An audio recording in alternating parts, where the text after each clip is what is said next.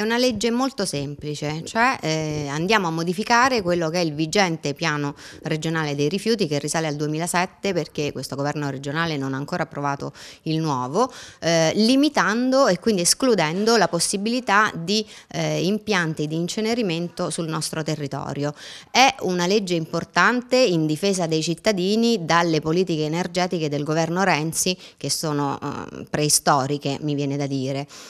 È una legge importante perché è chiaro che eh, in un paese moderno, in una regione moderna, incenerire rifiuti non è più accettabile, abbiamo tutte le conoscenze scientifiche, tecniche per evitare l'incenerimento che gli scienziati e gli studiosi ci dicono essere dannoso per la salute umana, per cui noi eh, crediamo che insomma, mettere le mani avanti prima dell'approvazione del nuovo piano regionale e lanciare un segnale a questo governo regionale eh, sia importante per i cittadini cittadini. C'è un rischio della costruzione di nuovi inceneritori nella nostra regione?